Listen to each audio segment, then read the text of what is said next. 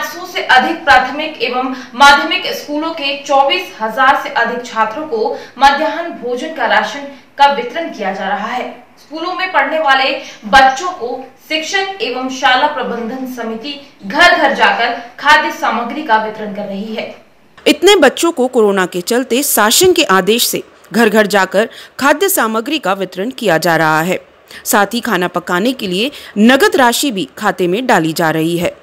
बड़वा BRC Dasharath Panwar ने बताया कि कोरोना संक्रमण को लेकर मार्च और अप्रैल महीने के कुल 33 दिनों का खाद्य सुरक्षा भत्ता में साढ़े पाँच सौ के लगभग प्राथमिक और माध्यमिक विद्यालय हैं, जिनमें कक्षा एक से आठ तक चौबीस हज़ार से अधिक बच्चे पढ़ाई कर रहे हैं।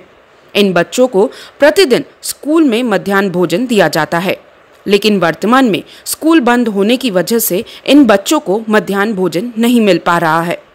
ऐसे में सीएम शिवराज सिंह चौहान ने इन सभी बच्चों को खाद्य सुरक्षा भत्ता देने का निर्णय लिया है, जिसके तहत प्राथमिक स्कूल के बच्चों को 33 दिन का कुल 3300 ग्राम गेहूँ अथवा चावल व एक रुपए एवं माध्यमिक स्कूल के बच्चों को 4 किलो 950 ग्राम अनाज व दो रुपए बैंक खाते में भेजे गए हैं।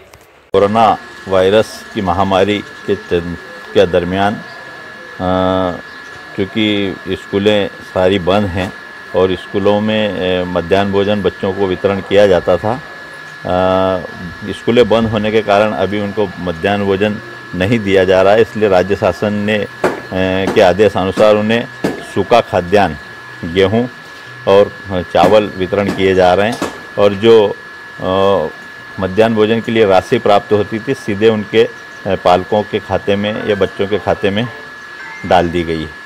ताकि बच्चा को पोषण आहार करे और किसी तरह भूखा न रहे, महामारी की चपेट में ना आए।